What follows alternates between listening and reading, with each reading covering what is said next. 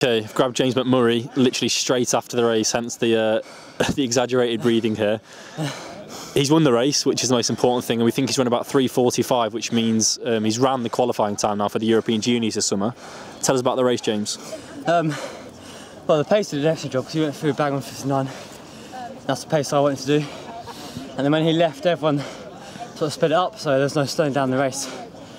It was sort of like a burnout last 300. So it's relentless pace, everything always going forward. it's a perfect race, really. No wind. No, you're pretty happy. I mean, do you think there's more in the legs, or do you think that was maxed out there?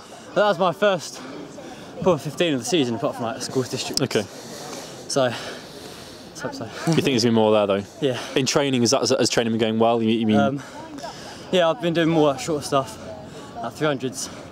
And if I get anything over K, I just die. So that, that race is pretty good. Where would you like to see you next? Where would you like to see you next, racing wise?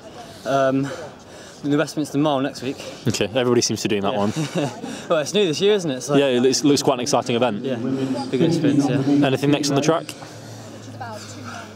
Not really, I wasn't really, had much structure in the races, really. I was just doing whatever I felt like it. Okay.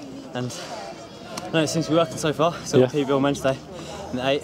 Well, So, obviously the next big one's gonna be the trials, isn't it? Trying to make the team. yeah, yeah. Anything happen. It's a championship. Well, it's basically a championship race.